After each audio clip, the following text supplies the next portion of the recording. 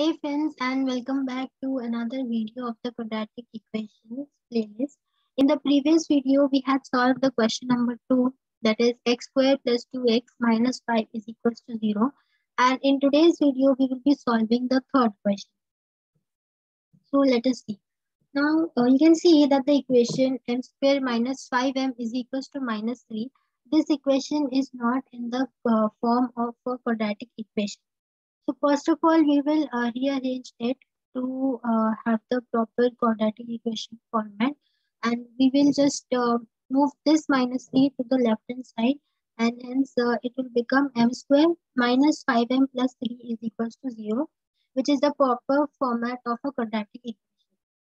Now, the step 1 is to make the coefficient of uh, x square or we can say m square in this case as 1 and since the equation uh, coefficient of x square, uh, m square is 1, we will move to the second step.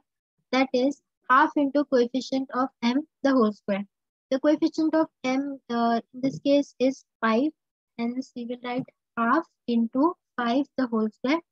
Which gives us 5 upon 2 the whole square.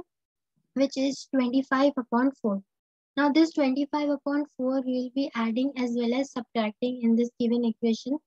The positive 25 will be given to the variable side and the negative will be given to the constant. So here we have divided the equation into two parts and we get m square minus 5m plus 25 upon 4 plus 3 minus 25 upon 4 which is equals to 0.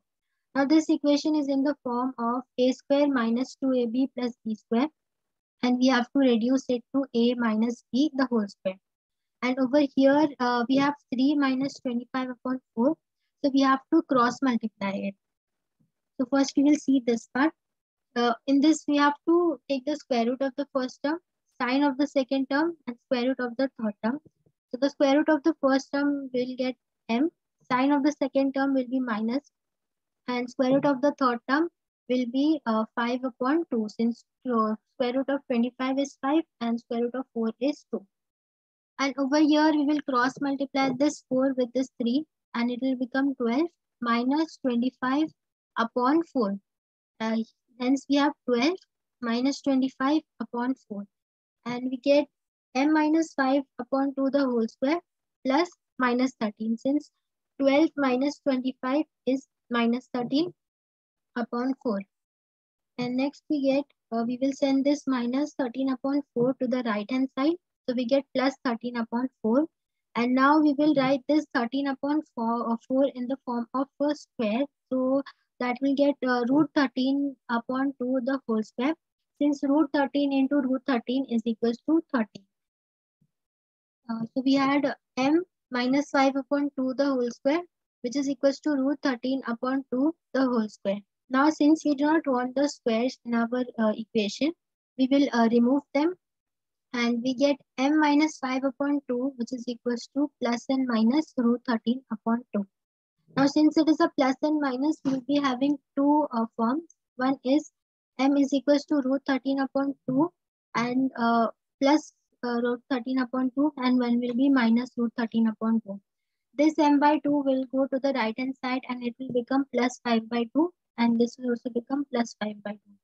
So we have m is equals to root 13 plus 5 upon 2 and m is equals to minus root 13 plus 5 upon 2. So these two are the roots of the given equation. So root 13 plus 5 upon 2 and minus root 13 plus 5 upon 2 is the root of the given equation. I hope uh, all uh, you, you all don't have any doubts in this uh, particular question. If you all have any doubts, please let me know in the comment section. And for more such videos, stay tuned and study.